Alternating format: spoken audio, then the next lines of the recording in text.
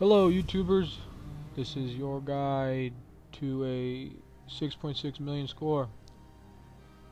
Uh, this is my last Hitman Sniper Challenge video um, because it, you know the contest for all the prizes is every, and everything's over. So I decided just to show you guys my highest score. And this was a just a quick run through. I turned my Xbox on. You know, gave about 10 attempts and got this score. Um, number one in the U.S. with this score, and uh, fourth global. Um, yeah. Um, I hope you guys enjoy. I'm have links to my other videos for uh, previous Blood Money videos and my other uh, Sniper Challenge videos that I recorded back in May when this came out. So I hope you guys enjoy this playthrough. Um, please subscribe, comment, rate, do whatever. You can message me on Xbox if you have questions. I don't care. Um, I will be coming out with Absolution videos frequently.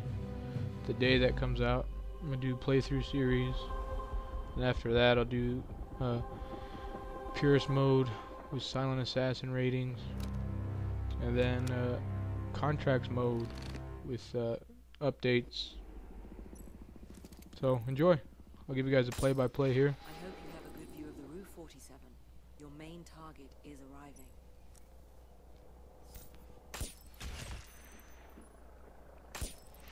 Excellent way to conceal a body.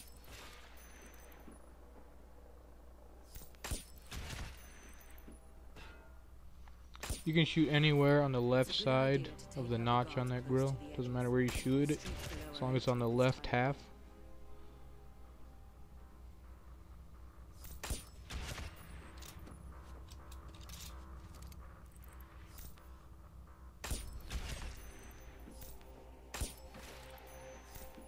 In between the bench, the back of the bush.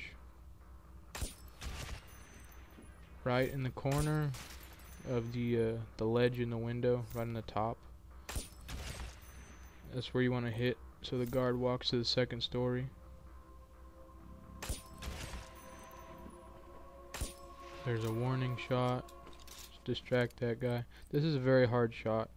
You have to get him on his last step when his leg lifts so that you get the moving and the hidden.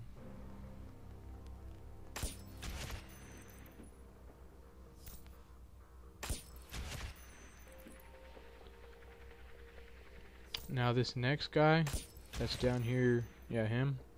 You can hide him with this shot, but it's uh it's very unlikely.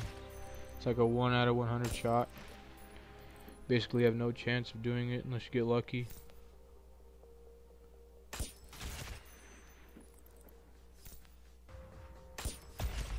Damn, there you go. Uh, 15 headshot streak, 15 moving headshot streak, um, 11 hidden bodies.